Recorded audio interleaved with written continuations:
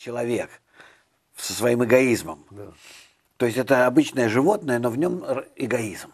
Да. И этот эгоизм заставляет его развиваться совершенно неправильно, против других, вопреки другим, вопреки всем, и на живой, растительной, и животной природе. То есть не, не находиться с ними в, в гармонии, э, в гомеостазе, а выходить за его пределы, рвать все просто вот, вот так вот и себе все подчинять. Для чего? Неважно. Э, какая цель? Никакой цели. Вот удовлетворять вот этот вот э, пылающий в нем эгоизм.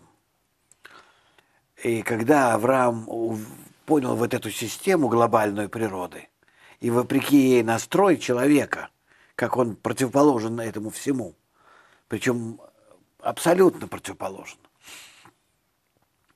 то он понял, что проблема в человеке, в, в том, чтобы привести человека к гармонии, к подобию всей этой природы.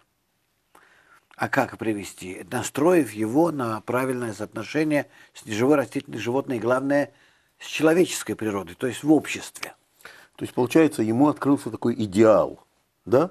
И дальше он Глядя как- на природу, он увидел идеал. Идеал. И И, тут- глядя на человеческое общество, он увидел противоположное ему. Понятно. Как сопоставить вот эти две системы?